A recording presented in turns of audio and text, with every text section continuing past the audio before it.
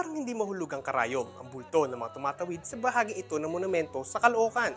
Rush hour, kaya halos lahat parang nagmamadali sa paglalakad. Pero tuloy ng ilang netizens, parang same experience daw sa sikat at busiest tawiran ng Japan, ang Shibuya Crossing. Pero Pinoy version, sa ilang report, isang libo hanggang dalawang libo raw ang dumadaan sa Shibuya kada dalawang minuto. Pinuntahan natin ito sa Caloocan para silipin ang sitwasyon. Marami nga rin talagang tao. Bukod sa kabi-kabila ang mga establishmento, marami rin kasing kalapit dito na terminal ng pampublikong sasakyan na may rutang hindi lang sa Kamanava kundi maging sa mga probinsya. Oo nga eh, Shibuya. Shibuya. Oo, pag rush hour. Ganun talaga pag rush hour. Ako dito ko lang nararanasan. Hindi naman sa, Bu- wala naman ganun sa Bulacan. Kasi tapat kasi ng SM to sir eh. Tapos wala namang overpass. Kaya dito talaga yung tawiran. Wala, wala talagang choice eh. Layo kasi kapag doon pa eh.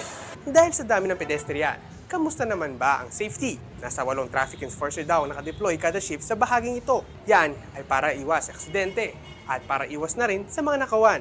Todo sigaw ng araw sila para mapasunod lahat ng tumatawid, maging mga motorista. Ang misyon namin, kailangan walang masaktan dito, walang mamamatay. Saka di bali na mamaos kami, basta wala lang masaktan. Napaka-importante ng pagsunod natin sa mga batas trapiko. Buhay kasi natin ang nakasalalay dito. Kaya doon lang po tayo sa tamang tawiran. Mobile Journal, Ivan Tarinki po hatid ang muka ng balita. Pag-usapan pa po natin yan, ito nga pong binansagang Shibuya Crossing ng Pilipinas. Sa may Caloocan po yung nakita niyong video ha. At kasama natin si Mobile Journal Evan Tarinque. Diretsoin ko na. I'm sure sinubukan mo yon. Ano, so, ano yung experience ng pagtawid ng ganun karami ang kasabay mo? Actually, Jovi, ah, yung experience ng pagtawid is parang hindi naman different sa normal na pagtawid. Ang pinagkaiba lang is syempre at the back of your mind, ah, baka madukutan ka. Kasi nga sa dami ng tao, no? So yun yung parang may isip mo na kailangan protektahan mo yung mga gamit mo. No? Kanyari, cellphone, wallet, na so oh, ako hawak na at yun bithawak na hawak ko talaga matig ah, mahigpit talaga yung pagha, pagkahawak ko dito Jovi. Yeah. Okay. So, ah, before yung ano no, yung ah, yung origin itong pagbansag diyan, eh, puntahan lang natin. Sa Shibuya kasi ah, you have the luxury of time na i-cross mo sa nakakadalawang balik ka pa nga. No? Ganun katagal yung time frame ah, na binibigay sa mga pedestrian o dun sa mga naglalakad ano, o mga tatawid. Dito ba mabilis lang yung mabilis lang yung binibigay ng oras sa tawid kasi minsan nakipag-unahan ka sa mga sasakyan. Actually, Jovi kanina, so pag pinatigil actually isang lane, so pwede kang, may center island. Yeah. So pwede kang huminto doon, then ah, yung iba naman, pag tumigil na yung kabila dito, saka, na, saka nila magsasalubong. So, actually yung parang Shibuya effect niya is parang pag nagkasalubong na yung galing sa center island, Yes. saka galing dito sa may isang side. So kaya nagkukumpulan yung mga tao kasi naiipon yung mga tao sa center island. Pero in terms of tagal naman ng pagtawid, actually mabilis lang, no? parang one minute lang nakatawid ka na. No?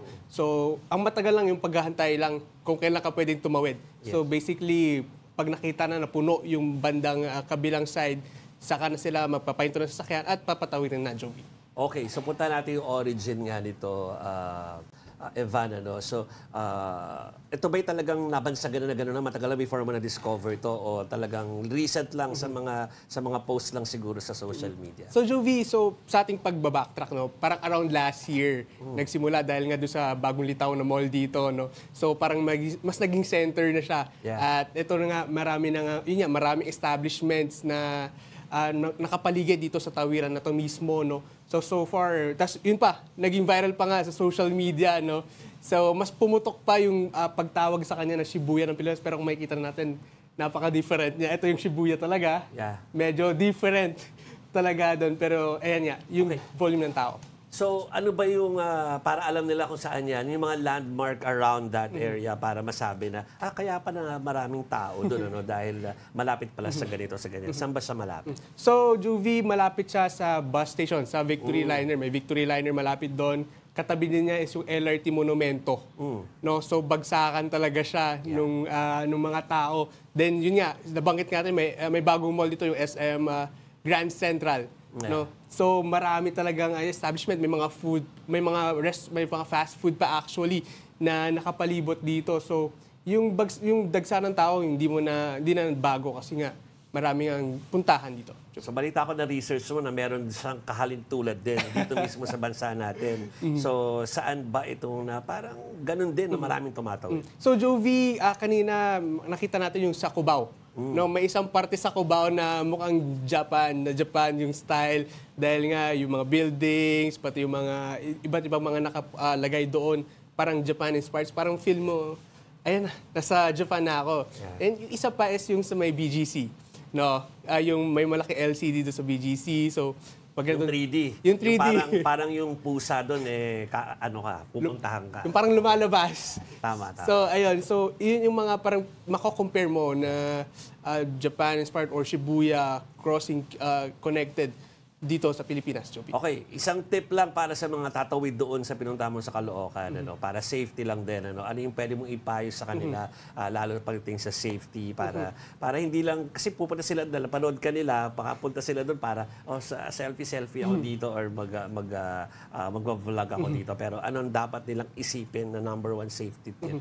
So, unang-una, makinig sila doon sa mga enforcer. Okay. Kasi yung mga sasakyan dito, grabe, madami. Madami talaga yung sasakyan dito, tuloy-tuloy actually yung, um, hindi lang mga maliliit sasakyan, may mga bus din. And napakaliit lang nung daanan. So parang two lanes lang siya. Tapos sa kabila, magkakasalubong bus, mga sasakyan. So kailangan makinig talaga sila sa enforcer kung pwede na ba sila tumawid or hindi.